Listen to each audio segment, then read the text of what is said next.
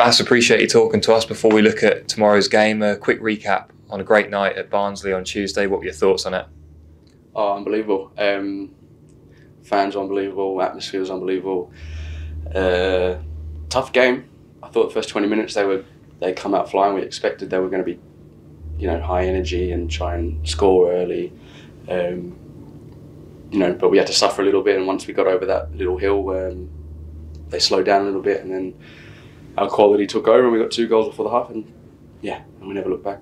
What impressed you most about getting that result? Because it was a valuable three points, wasn't it? Um, I just, I thought we were resilient. Um, you know, we dug in deep when we needed to. You know, we did the horrible side of the game well. Um, I think to get out of this league and to do well in, in, in football, you've got to do that side really well. And, and I think if you're good enough, the, the quality comes out anyway, and, and that's what happened. You probably thought you'd bagged another early doors as well, didn't you? Yeah, yeah. I, I am told I need to shoot more, so I was um, I was anticipating that one for quite a while, but uh, yeah, just not my day. That's fine. We've only been chatting about the, the Barnsley game, but are those characteristics, attributes, qualities, whatever word you want to use, that you've noticed since coming through the door in January? Yeah, hundred percent. I think um, you know home games are a little bit different because I would say the momentum doesn't swing as much as away games, but um, for sure away games you need to you know grind out results, and I don't think you know the ones I've been involved in have been perfect games from us. They've just been you know tough games. We've had to run a lot. We've had to fight, win headers, win duels, and um, yeah, I think that's what you need. And this group, I think 24 of our players can do it. So I think it's a good a good group and a, and, and a good you know even off the bench, people come on and they they give us the same attitude and the same energy and if not more. Um, than the boys that started, so it's, it's, it's a good squad to have. Yeah. Looking at tomorrow, in what ways will Exeter be a threat at Portman Road? Um, I think they're going to come in with a game plan, so we've got to be ready for that. Uh, you know, I think we've had a, a few, so many different types of football games at Portman Road, so Yeah. We're sort of used to a lot of it, but we just got to expect that they're going to come with something different.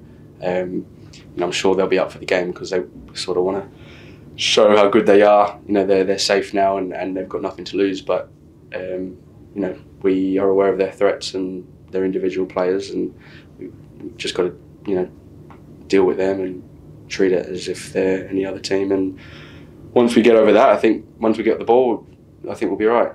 Another home sellout as well. Yeah. How much of a part do the supporters have to play? And also, you know, they've contributed to making Portman Road an excellent record for you guys at home, hasn't it? Yeah, since I've been here, it's been amazing. So um, I'm, I'm really, I think we're all looking forward to this game, uh, the final home game of the season. Uh, yeah, it's been class for the past since since I've been here. So uh, I'm sure before as well. But um, I, you know, I think this one's a little bit more special. Um, you know, we're going to use that to our advantage for sure.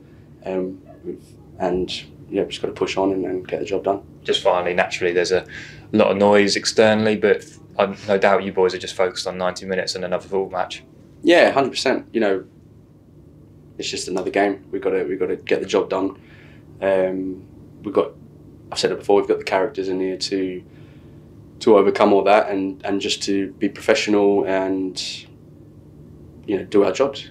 Um, and think as a professional footballer, that's the minimum you can do. And then our quality will come out once we get all that done and we work hard and get our jobs right and yeah, deserve the chance to play, and then I think the outcome will be there or thereabouts.